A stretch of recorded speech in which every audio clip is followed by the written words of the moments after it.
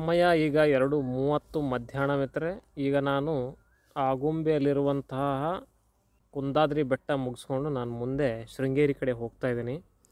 ಶೃಂಗೇರಿ ಕಡೆ ಆದಷ್ಟು ಬೇಗ ನಾನು ಹೋಗಬೇಕು. ಯಾಕಂದರೆ ಮಲೆನಾಡು ಪ್ರದೇಶದಲ್ಲಿ ಮತ್ತು ಪಶ್ಚಿಮ ಘಟ್ಟ ಮತ್ತು ಕುದುರೆಮುಖ ಅಭಯಾರಣ್ಯದಲ್ಲಿ ಐದು ಗಂಟೆಗೆ ಕತ್ತಲೆ ಆಗುತ್ತೆ ಮಿತ್ರೆ. ಬೇರೆ ಕಡೆ ಎಲ್ಲ ಆರು, ಆರೂವರೆಗೆ ಸೂರ್ಯಾಸ್ತ ಆದರೆ ಇಲ್ಲಿ ಐದು ಗಂಟೆಗೆ ಸೂರ್ಯಾಸ್ತ ಆಗಿಬಿಡುತ್ತೆ ಕತ್ತಲೆ ಆಗುತ್ತೆ. ಆಮೇಲೆ ಇಲ್ಲಿ ಅಲ್ಲೊಂದು ಇಲ್ಲೊಂದು ಮನೆ ಇರ್ತವೆ. ಗೂಗಲ್ ಮ್ಯಾಪ್ಸ್ ಮೇಲೆ ನಂಬಿಕೆ ಇಟ್ಕೊಳ್ಳಿಕ್ಕೆ ಸಾಧ್ಯ ಇಲ್ಲ. ಆಮೇಲೆ ಭಾಳ ಮುಖ್ಯವಾದದ್ದು ಯಾವಾಗ ಬೇಕಾದರೂ ಮಳೆ ಬರ್ಬೋದು.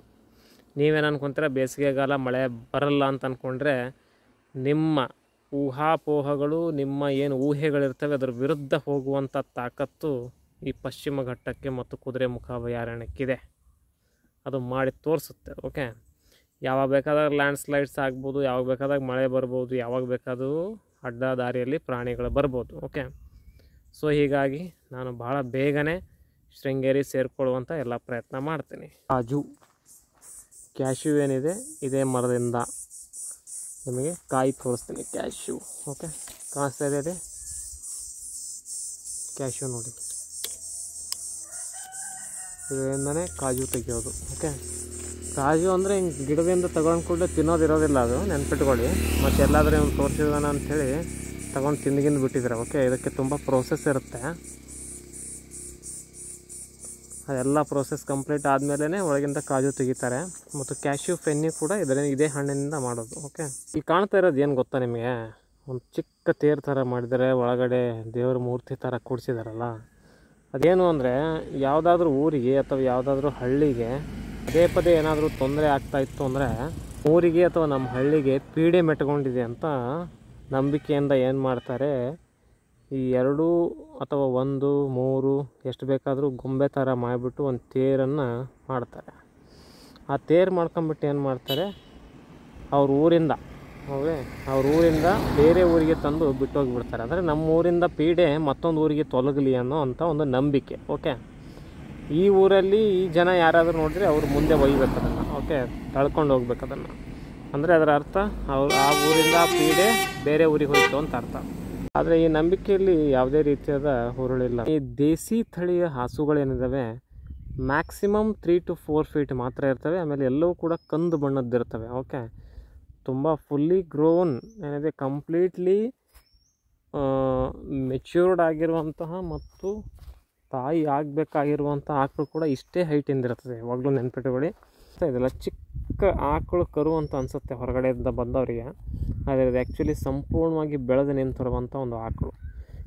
ಎಲ್ಲ ಹಸುಗಳು ಕೂಡ ಇಷ್ಟೇ ಸೈಜಿಂದ ಇರ್ತದೆ. ಮ್ಯಾಕ್ಸಿಮಮ್ ನೈಂಟಿ ಪರ್ಸೆಂಟ್ ಇದೇ ಬಣ್ಣದ್ದೇ ಆಗಿರ್ತವೆ.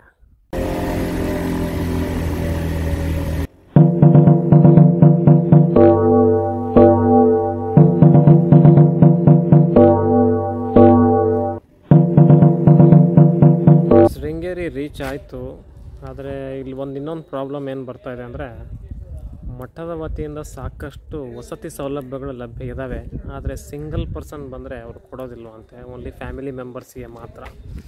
ಸೊ ಹೀಗಾಗಿ ಯಾಕಂದರೆ ಮಠದ ವತಿಯಿಂದ ಏನು ಕೊಡುವಂಥ ವಸತಿ ಸೌಲಭ್ಯ ಇದೆ, ಅದು ಓನ್ಲಿ ಒನ್ ಹಂಡ್ರೆಡ್ ಒನ್ ಫಿಫ್ಟಿಯಲ್ಲೇ ಸಿಗುತ್ತೆ. ಹೊರಗಡೆ ಬಂದರೆ ಸ್ವಲ್ಪ ಕಾಸ್ಟ್ಲಿ ಆಗುತ್ತೆ. ನೋಡೋಣ ವಿಚಾರಿಸ್ಬೇಕು ಬಟ್ ಇಡೀ ಇಡೀ ಮಾರ್ಕೆಟೇ ಬಿಕೋ ಅಂತ ಇದೆ ನೋಡಿ. ಇಲ್ಲ ಕಂಪ್ಲೀಟಾಗಿ ಕ್ಲೋಸ್ಡ್ ಇದಾವೆ ಎಲ್ಲವೂ ಕೂಡ.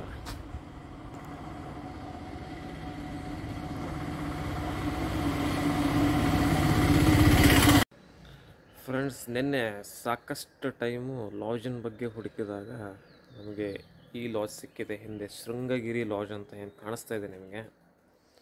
ಅದು ಆ್ಯಕ್ಚುಲಿ ಊರಿನ ಫಸ್ಟ್ ಲಾಡ್ಜ್ ಅಂತೆ, ಅಂದರೆ ಹತ್ತೊಂಬತ್ತು ನೂರ ಎಪ್ಪತ್ತರಲ್ಲಿ ಆಗಿರುವಂಥ ಒಂದು ಫಸ್ಟ್ ಲಾಡ್ಜ್ ಅಂತ ಹೇಳಿದರು. ಬಟ್ ನೀವೇನಾದರೂ ಆ ಲಾಡ್ಜ್ ನೋಡಿದರೆ, ನೀವು ರೂಮ್ ಅಲ್ಲಿ ರೂಮ್ ಹಿಡಿಯೋದೇ ಇಲ್ಲ.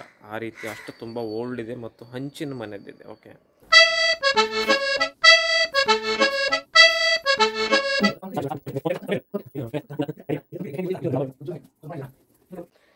ಬಟ್ ನನಗೆ ದುಡ್ಡು ಉಳಿಸೋದಿತ್ತು ಸೊ ಹೀಗಾಗಿ ಅನಿವಾರ್ಯ ಕಾರಣಗಳಿಂದ ನಾನು ಆ ರೂಮ್ ಹಿಡಿದೆ. ಬಟ್ ತುಂಬ ಅದ್ಭುತವಾಗಿದೆ ಕೂಲ್ ಆಗಿದೆ, ತುಂಬ ಓಲ್ಡ್ ಆಗಿದೆ. ಅದರದ್ದು ರೂಫ್ಸ್ ಎಲ್ಲ ಏನಿದೆ ವುಡನ್ ಇದ್ದಾವೆ ವುಡನ್ ಅಂದರೆ ಅಷ್ಟೊಂದು ಹಳೆ ಕಾಲದಿದ್ದರೂ ಕೂಡ ತುಂಬ ಅದ್ಭುತವಾಗಿ ಮೇಂಟೈನಡ್ ಇದೆ. ಬಹುಶಃ ನನಗನ್ಸಿದ ಮಟ್ಟಿಗೆ ತುಂಬ ಹಳೆ ಬಿಲ್ಡಿಂಗ್ ಅದು. ಆಮೇಲೆ ಶೃಂಗೇರಿಯಲ್ಲಿ ನೋಡಿ, ಈಗ ಬೆಳಗಿನ ಜಾವದಲ್ಲಿ ಮಂಜು ಕವಿದ ವಾತಾವರಣ ಇದೆ ಓಕೆ ನಾನು ನಿಮಗೆ ತೋರಿಸ್ತೀನಿ ಮಂಜು ಕವಿದ ವಾತಾವರಣ ಯಾವ ರೀತಿ ನಿರ್ಮಾಣ ಆಗಿದೆ ಅಂತ. ಬೆಳಗಿನ ಜಾವ ನೋಡೋಣ, ಒಂದು ಸ್ವಲ್ಪ ಟೀ, ಕಾಫಿ ಏನಾದರೂ ಕುಡಿದು ಬಂದು ಒಂದು ಸ್ವಲ್ಪ ಫ್ರೆಶ್ ಅಪ್ ಆಗೋಣ.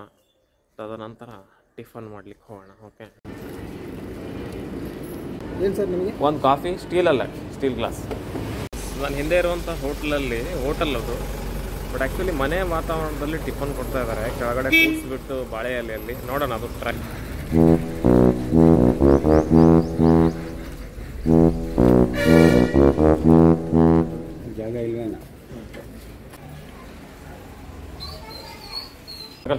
ಒಬ್ಬನೇ ಇದ್ದೀನಿ ಅಲ್ಲಿ ಕೂತ್ಕೊಳ್ಳ ಬನ್ನಿ ಕೂತ್ಕೊಳ್ಳಿ. ಕೂತ್ಕೊಳ್ಳಿ ಬನ್ನಿ ಒಳಗೆ ಬನ್ನಿ. ಅಲ್ಲೇ.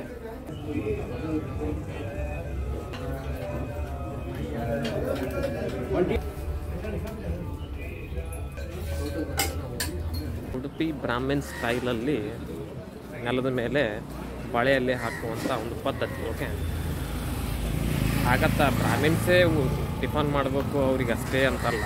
ಯಾರು ಬೇಕಾದವರು ಬರ್ಬೋದು. ಓಕೆ? ಅದೇ ದುಡ್ಡು ಇರುತ್ತೆ. ಯಾರು ಬೇಕಾದರೂ ದುಡ್ಡು ಕೊಟ್ಟವ್ರಿಗೆ ಟಿಫನ್ ಕೊಡ್ತಾರೆ. ಔಟ್ ಆಫ್ ಟೆನ್ನು ನಾನು ಇದಕ್ಕೆ ಸೆವೆನ್ ಮಾರ್ಕ್ಸ್ ಕೊಡ್ತೀನಿ. ಮೂರು ಮಾರ್ಕ್ಸ್ ಏನಿದೆ ವಡಾಕೆ ಕಟ್ ಮಾಡಬೇಕು. ಚಟ್ನಿ ಮತ್ತು ಸಾಂಬಾರು. ಸಾಂಬಾರು ಕುಂಬಳಕಾಯಿ ಸಾಂಬಾರು. ಕುಂಬಳಕಾಯಿ ಸಾಂಬಾರು, ಕುಂಬಳಕಾಯಿ ಗಟ್ಟಿಯಾದ ಸಾಂಬಾರು ಮಾಡೋದ್ರಲ್ಲಿ ಇಲ್ಲಿ ಈ ಭಾಗದ ಜನ ಎತ್ತಿದ ಕೈ ಓಕೆ? ತುಂಬ ಅದ್ಭುತವಾಗಿ ಟೇಸ್ಟ್ ಮಾಡ್ತಾರೆ.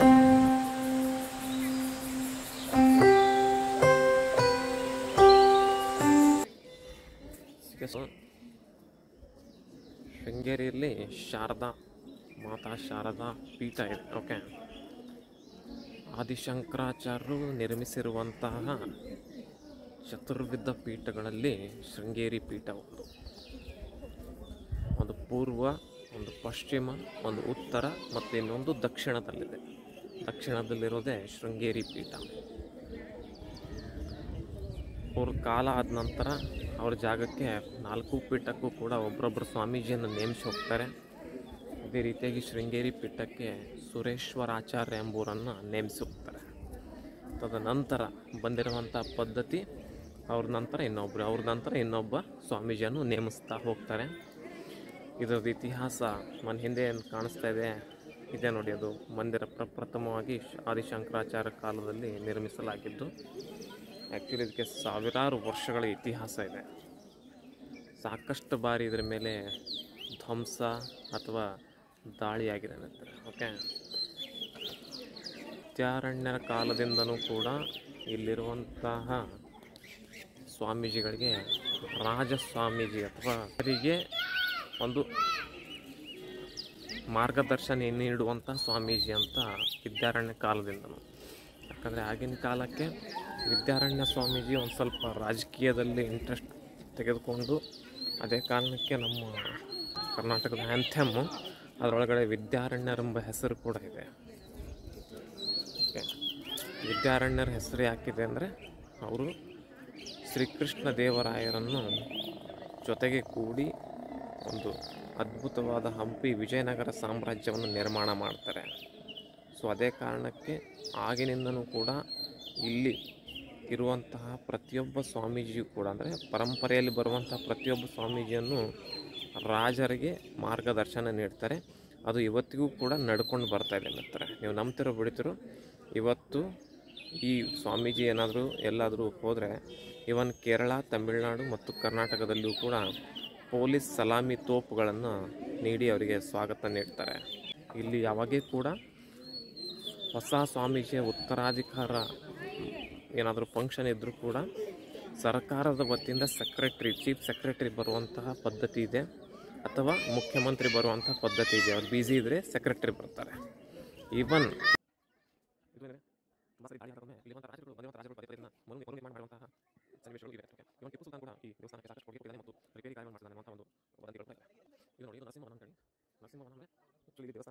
ಈ ದೇವಸ್ಥಾನದಿಂದ ಆ ಕಡೆ ಕನೆಕ್ಟ್ ಆಗಲಿಕ್ಕೆ ಒಂದು ಬ್ರಿಡ್ಜ್ ಇದೆ ಓಕೆ ಆ ಕಡೆ ಜಗದ್ಗುರುಗಳು ಅಥವಾ ಸ್ವಾಮೀಜಿಗಳು ಇರುವಂತಹ ಒಂದು ಅವರ ಮನೆ ಇದೆ. ಆ ಕಡೆ ಅವರ ವಾಸಸ್ಥಾನ ಅಂತಾರೆ. ಸ್ವಾಮೀಜಿಯ ವಾಸಸ್ಥಾನ ಪೂಜಾ ಸ್ಥಾನ ಮತ್ತು ಅಲ್ಲೇ ಒಂದು ಗುರುಕುಲ ಕೂಡ ಇದೆ. ಆ ಗುರುಕುಲದಲ್ಲಿ ಮಕ್ಕಳನ್ನು ಶಿಕ್ಷಣ ಕೂಡ ಕೊಡ್ಬೋದು ಕೊಡಿಸ್ಬೋದು ನೀವು ಓಕೆ ದೇವಸ್ಥಾನದ ಹಿಂದ್ಗಡೆ ಏನಿದೆ?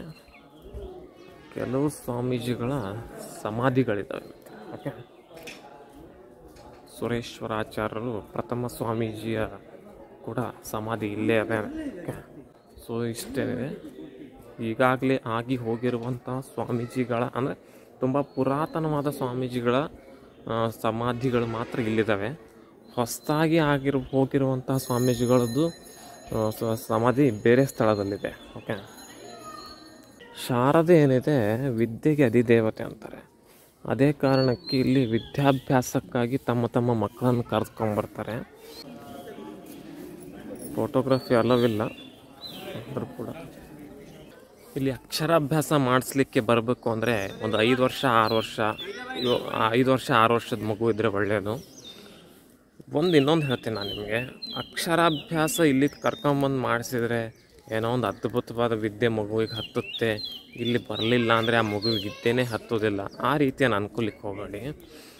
ನೋಡಿ, ಇದು ಒಬ್ಬೊಬ್ಬರ ಅನುಕೂಲಕ್ಕೆ ತಕ್ಕಂಗೆ, ಒಬ್ಬೊಬ್ಬರ ಆಸೆ, ಇಷ್ಟಗಳಿಗೆ ತಕ್ಕಂಗೆ, ಒಬ್ಬೊಬ್ಬರ ನಮ್ಮದು ನಂಬಿಕೆಗೆ ತಕ್ಕಂಗೆ ಓಕೆ ಶಾರದೆಗೆ, ಸರಸ್ವತಿಗೆ, ಒಂದು ವಿದ್ಯೆಗೆ ಸಂಬಂಧಪಟ್ಟ ಅಧಿದೇವತೆ ಅಂತ ಹಿಂದೂಯಿಸಮಲ್ಲಿ ನಂಬಿರೋ ಕಾರಣಕ್ಕಾಗಿ ನಾವು ಆ ರೀತಿ ನಂಬಿಕೆ ಅಷ್ಟೇ ಓಕೆ ರಿಜಿಸ್ಟರ್ ಮ್ಯಾರೇಜ್ ಮಾಡಿಕೊಂಡ್ರು ಮ್ಯಾರೇಜೇ ಹತ್ತು ಕೋಟಿ ರೂಪಾಯಿ ಖರ್ಚು ಮಾಡಿಕೊಂಡ್ರು ಮ್ಯಾರೇಜೇ ಓಕೆ ಅಕಸ್ಮಾತ್ ನಿಮ್ಮ ಹಣೆ ಬರದಲ್ಲಿ ಮ್ಯಾರೇಜು ವಿಫಲ ಆಗುವಂಥದ್ದು ಇತ್ತಂದರೆ ನೀವು ಹತ್ತು ಕೋಟಿ ರೂಪಾಯಿ ಕೊಟ್ಟು ಧೂಮ್ ಆಗಿ ಮ್ಯಾರೇಜ್ ಮಾಡಿಕೊಂಡ್ರು ಕೂಡ ಅದು ಫೇಲ್ ಆಗುತ್ತೆ. ಅದೇ ರೀತಿಯಾಗಿ ರಿಜಿಸ್ಟರ್ ಮ್ಯಾರೇಜ್ ಮಾಡಿಕೊಂಡ್ರೂ ಕೂಡ ನಿಮ್ಮ ಮ್ಯಾರೇಜು ತುಂಬ ಅನ್ಯೋನ್ಯತವಾಗಿ ನೂರು ವರ್ಷ ಬಾಳಿ ಬದುಕುವಂಥ ಎಲ್ಲ ಚಾನ್ಸಸ್ ಇದೆ ಓಕೆ ಸೊ ಹೀಗೇನಿದೆ, ನಮ್ಮ ನಮ್ಮ ಹಣೆ ಬರಕ್ಕೆ ಸಂಬಂಧಪಟ್ಟಂಗೆ ಎಲ್ಲವೂ ಕೂಡ ಆಗ್ತಾ ಇರ್ತದೆ. ಸೊ ಹೀಗಾಗಿ ಇವೆಲ್ಲ ಪೂಜೆಗಳು ಮಾಡಿಸೋದು ನಮ್ಮ ಮನಸ್ಸಿನ ಶಾಂತಿಗಾಗಿ, ನಮ್ಮ ನಂಬಿಕೆಗಾಗಿ, ನಮ್ಮ ಅನುಕೂಲಕ್ಕಾಗಿ, ನಮ್ಮ ಇಷ್ಟಕ್ಕಾಗಿ. ಮೇಲೆ ಏನು ಕಾಣಿಸ್ತಾ ಇದೆಯಲ್ಲ ನಿಮಗೆ ರಿಂಗ್ಸ್ ಥರ ಕಾಣಿಸ್ತಾ ಇದೆ ನೋಡಿ ಮಿತ್ರರೆ. ಇದೊಂದು ಅದ್ಭುತವಾದ ಕೆತ್ತನೆ ಮತ್ತು ಕಲಾಕೃತಿ. ಈ ರಿಂಗ್ಸ್ ಇದಾವಲ್ಲ, ಒಳಗಡೆಯಿಂದ ರಿಂಗ್ಸು ಸಪ್ರೇಟಾಗಿ ನೀವು ಆರಾಮಾಗಿ ತಿರುಗಿಸ್ಬೋದು ಓಕೆ ಅಷ್ಟೊಂದು ಅದ್ಭುತವಾದ ಕಲಾಕೃತಿ ನಿಮಗೆ ಇಲ್ಲಿ ಆಗಿರ್ಬೋದು, ಹಂಪಿ ಆಗಿರ್ಬೋದು ಚನ್ನಕೇಶವ ಟೆಂಪಲ್ ಆಗಿರ್ಬೋದು, ತಾಂಜಾವೂರು ಆಗಿರ್ಬೋದು, ಎಷ್ಟು ಅದ್ಭುತವಾದ ಮತ್ತು ಶ್ರೀಮಂತ ಕಲೆ, ಅಜಂತ, ಎಲ್ಲೋರ ಆಗಿರ್ಬೋದು, ಎಲ್ಲ ಕಡೆ ನಿಮಗೆ ನಿಮಗೆ ನೋಡ್ಲಿಕ್ಕೆ ಸಿಗ್ತದೆ ಮಾತ್ರ. ಈ ಥರದ ಕೆತ್ತನೆಗಳು ಭಾರತ ಬಿಟ್ಟರೆ ನಿಮಗೆ ಎಲ್ಲೂ ಕೂಡ ನೋಡೋಕ್ಕೆ ಸಿಗೋದಿಲ್ಲ. ಒಳಗಡೆ ಚಂದ್ರಮೌಳೇಶ್ವರ ಅಂದರೆ ಸಾಕ್ಷಾತ್ ಈಶ್ವರನ ಲಿಂಗ ಇದೆ ಮತ್ತು ಎಡಕ್ಕೆ, ಬಲಕ್ಕೆ ಏನಿದೆ, ಒಂದು ಗಣಪತಿಯ ಮೂರ್ತಿ ಕೂಡ ಇದೆ. ತುಂಬ ಅದ್ಭುತವಾದ ಗಣಪತಿಯ ಮೂರ್ತಿ, ತುಂಬ ಪುರಾತನವಾದಿದೆ ಸ್ವಲ್ಪ ಡ್ಯಾಮೇಜ್ ಆಗಿದೆ ಅದು. ದಾಳಿಗಳಾಗಿದ್ದಾವಲ್ಲ ಮತ್ತು, ಸಾಕಷ್ಟು ದಾಳಿಗಳಲ್ಲಿ ಸಾಕಷ್ಟು ಡ್ಯಾಮೇಜು ಇಷ್ಟು ಉಳ್ಕೊಂಡಿರೋದು ನಮಗೆ. ವಿಜಯನಗರದ ಇತಿಹಾಸವನ್ನು ನೀವು ನೋಡಿದಾಗ, ಶೃಂಗೇರಿ ಇತಿಹಾಸ ಅದಕ್ಕೆ ತಳಕು ಹಾಕೊಳ್ಳುತ್ತೆ ಮಿತ್ರ. ವಿದ್ಯಾರಣ್ಯರೆಂಬ ಎನ್ನುವಂಥ ಸ್ವಾಮೀಜಿ ಏನಿದ್ದಾರೆ, ಶ್ರೀಕೃಷ್ಣ ದೇವರಾಯರಿಗೆ ಮಾರ್ಗದರ್ಶಕರಾಗ್ತಾರೆ. ತದನಂತರ ಹಕ್ಕ, ಬುಕ್ಕ, ಅಲ್ಲಿಂದ ಬಂದಿರುವಂತಹ ಎಲ್ಲ ರಾಜರು ಕೂಡ ಇಲ್ಲಿ ಶಿಷ್ಯರವರು. ಓಕೆ ಸೊ ನೀವು ಅದನ್ನು ಓದಲೇಬೇಕು. ಕೆಲವೊಂದು ಬಂಡಲ್ ಆಫ್ ಬುಕ್ಸ್ ಇದ್ದಾವೆ ಅದು ಯಾರು ಬರೆದಿದ್ದು ಗೊತ್ತಿಲ್ಲ. ನಾನು ತುಂಬ ವರ್ಷ ಹಿಂದೆ ಯು ಜಿಯಲ್ಲಿ ಇರಬೇಕಾದ್ರೆ ಓದಿದ್ದೆ ಅವೆಲ್ಲವೂ ಕೂಡ.